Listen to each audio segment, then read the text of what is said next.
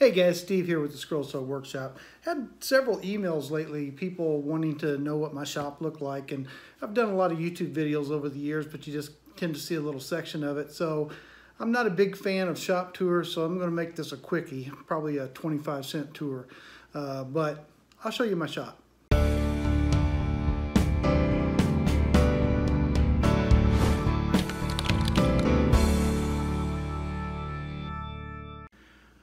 Okay, as you can probably tell by the garage door, I'm working out of a two-car garage, like so many of us. Um, a lot of people want to uh, come to what they think is a commercial shop when they see the Scroll Saw Workshop. And no, that's not me. I just have a two-car garage that I have pretty well filled to the brim with stuff. So I'm going to start you over here in the corner. And what you're seeing over there on the corner is just a shelf full of uh, craft items, you know, all kinds of stuff from uh, hardware to light bulbs to dowels to toy wheels, all that kind of stuff. Then I also still have my X-Carve CNC machine. That's what you're seeing here. And next to it is the computer that I use to control the CNC. And I do a little bit of breadboarding and electronics. That's what you're seeing down here. Uh, there is my new Marathon carving machine that I got from Bear Woods. Assorted parts, pegboard, screwdrivers, wrenches, all that stuff. Uh, my very messy uh, space where I store my battery chargers and uh, my drills, sanders, uh, everything else that's battery powered is all in there. Uh, paint, there's my little water source that I use to get water, cabinets. Moving on towards the back, there's the back garage door. I have some uh, sanding equipment, a disc sander and a belt sander over in that corner that I don't use too much anymore. Uh, I will show you this, but it's covered up. Uh, to air condition my shop during the summer so I can keep working. I have a portable air conditioner that I actually vent through the door. So when I move, I'm going to have to put a new door in.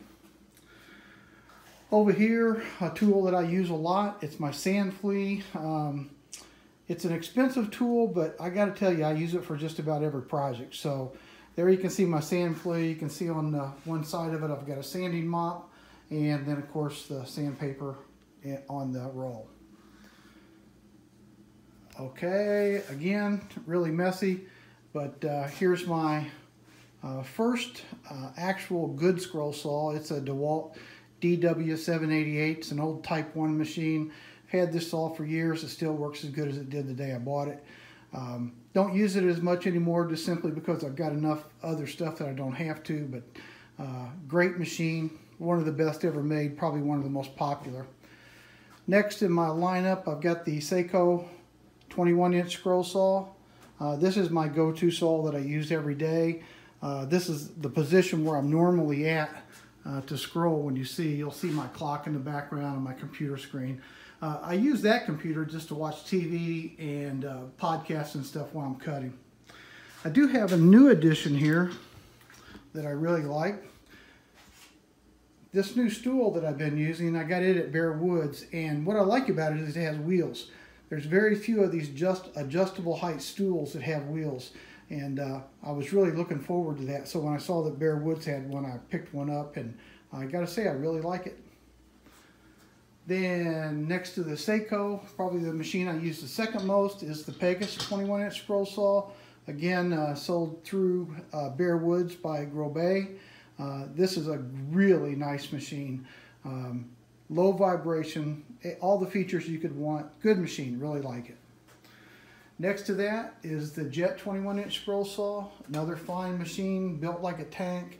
Uh, it's a unique machine because it has uh, the unique upper uh, clamping and tensioning knob as one unit. Uh, only machine on the market that does that. Takes a little getting used to, but I like it. Past that is the Excalibur uh, 21 inch scroll saw. It's one of the older Excaliburs, but still works great.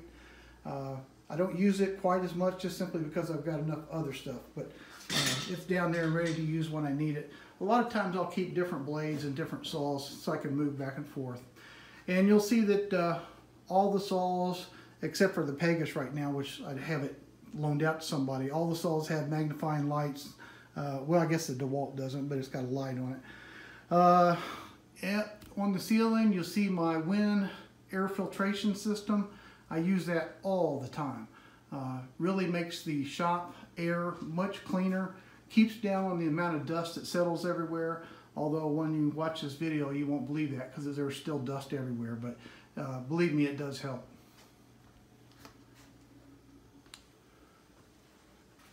To the other side here, you see all my clamps back there hanging on the wall. Then we got my old Craftsman floor model drill press.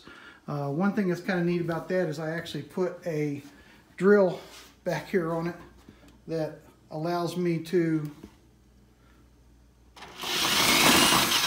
lower and raise the table with the drill. So I enjoy that. I actually use it a lot. So it's pretty cool. Underneath the drill, you'll see that I've got, you know, all my Forstner bits, drill bits, uh, everything that you need down there. There's the door to the house that goes in. Another item that I like really well is I've got my Oneida Dust Deputy Cyclone system and it is sitting on top of my shop vac and it really, really makes the shop vac much better. It, the Cyclone captures all of the larger particles up here in the bucket, very easy to empty, and the filters don't get clogged in the shop vac near as quickly. Great, great device if you don't have one.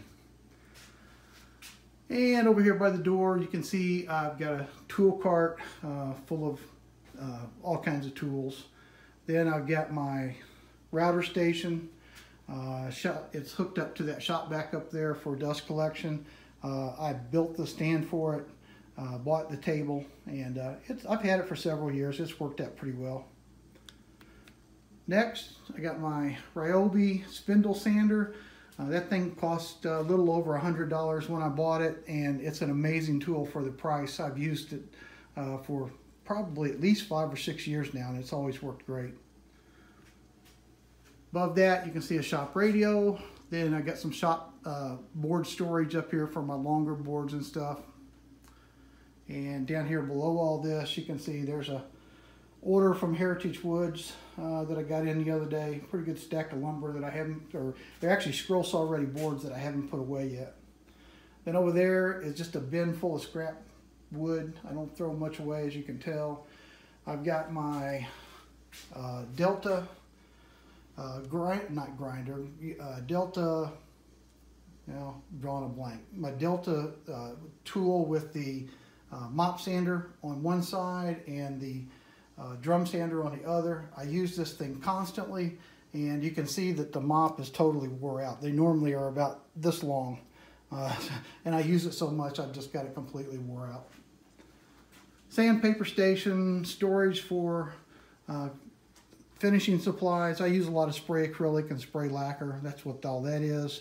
Uh, over here you can see it's just a DIY finishing station. Uh, the little rotary down there is powered by a rotisserie motor that I took out of a rotisserie kit.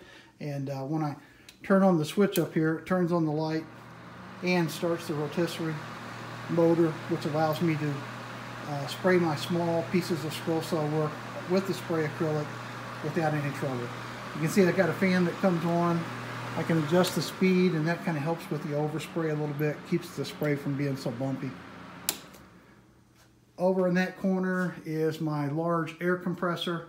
Uh, then you got my shop dust collection system. That's a jet system, an older system. I also have a cyclone hooked up to it right there. And uh, again, if you have shop dust collection or even with your shop vac, the cyclones are worth every penny. There's my Rikon bandsaw that I use to do all the uh, resawing with from when I have uh, rough lumber over here on my table saw, outfeed table, I've got the uh, Wen entry-level scroll saw that I just purchased recently to do a review on. I've uh, been working on it a little bit, but unfortunately I haven't got the review done yet. I'll do my best to get that done. Been pretty busy. Then I've got another grinder here that I use for sharpening tools. Here's my table saw. It's an old Craftsman table saw. And it actually has worked well for me. I've had it for probably 15 years. I put a different uh, on-off switch on it with the safety guard. I use that to bump it off with my knee all the time. And I've got the uh, Incra Miter 1000 uh, on the saw, which I use it all the time. Uh, kind of retrofitted the fence a little bit to add these uh, extra boards onto the side of the fence. Over here, I've got my DeWalt planer. Um, that thing has worked pretty well. I have had some problems with it over the years where the dust collection isn't great and uh, sometimes these um, shafts will get clogged up with dust and you have a hard time hand cranking the thing up and down and I've had to take it apart a couple times and clean it out real good. Over there I've got an old Craftsman jointer that uh, unfortunately right now isn't working. Haven't had a chance to take it apart. I think the motor might have died in it, but I haven't got there yet.